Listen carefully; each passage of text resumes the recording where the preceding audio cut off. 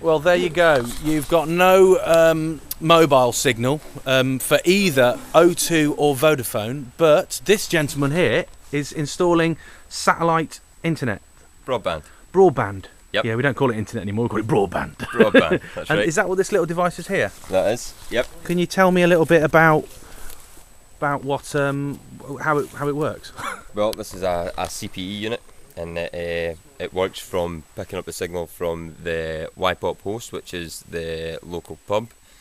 Uh, they have a satellite dish in the back of their building. Um, and so, what kind of range will this little dish thing uh, it'll it? pick up to maybe about a mile. A mile? Yep. Yep. Right. Has, it got to have line of sight? Or it's okay with the Um, trees in the way? Yeah, generally we try to get as clear line of sight as possible, like, you know.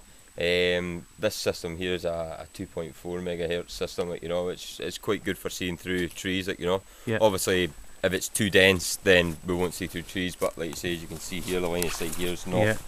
not too bad, like, so. No. So it's going right down there. so it's going right underneath the trees. so what to the, kind of broadband can they receive on this?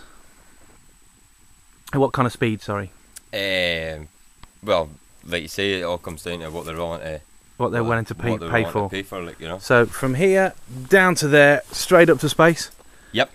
Wow. And that and how many how many um, receivers can the pub serve? It can serve, well, generally we wouldn't want to put any more than 10 on it. Okay, 10 you. is sort of a good number, which I think this system has got now about 7 Seven. 7 coming off it, but there's another 2 to go in, so that'll take us up to 9. That'll- and then you'll have to that- bring another one in. That'll stop there then, like, you know. Right. Which basically I'll cover everybody within the catchment area that's signed up for the system, so. So um, anybody else um, that wants to enjoy remote data services broadband, they'll have to go around someone else's house Yes. and go just borrow your internet. They'll go. I've only got a meg limit on the uh, upload. Give put some money in the pot. Just like the good old days. Thanks very Yep, much. no Happy problem. installing.